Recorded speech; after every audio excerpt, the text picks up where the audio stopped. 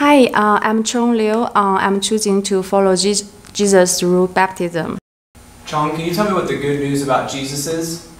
Um, the good news about Jesus is that um, he died for our sins and uh, he was buried, but he rose uh, rose up again.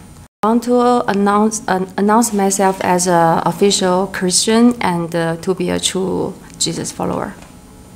Did you have a favorite verse that you wanted to share with us? Yeah, um, there are lots of good words in this in Bible, and uh, my favorite one is uh, Matthew. It's um, um, blessed are the merciful, for they will be shown mercy. Blessed are the poor in heart, for they will see God. Blessed are the peacemakers, for they will be called children of God.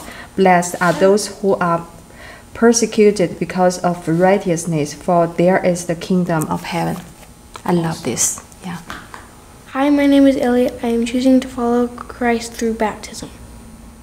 Elliot, can you tell me what the good news about Jesus is?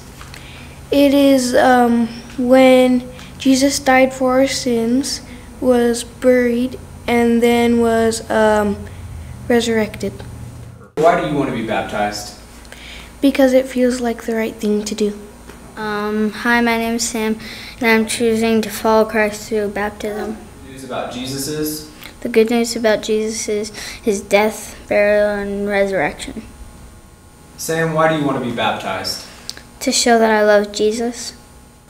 Sam, would you like to share a favorite verse of yours? Uh, John 1 1. In the beginning was the Word, and the Word was with God, and the Word was God.